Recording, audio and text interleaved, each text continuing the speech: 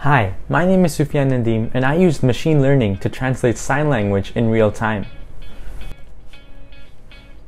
Here's the website for the translator. Users can train their own gestures, add as many words as they want, and begin translating. But that's not all.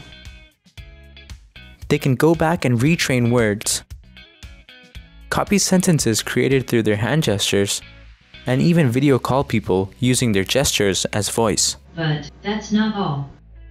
To create the sign language translator, I used Google TensorFlow's implementation of the k-nearest neighbors algorithm.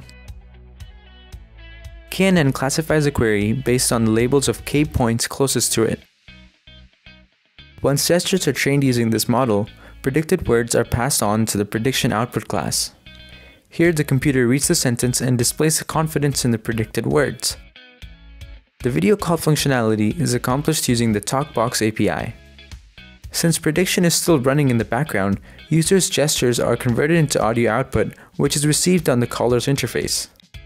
With a few additional features and an intuitive user interface, the Sign Language Translator is a creative solution that anyone can use.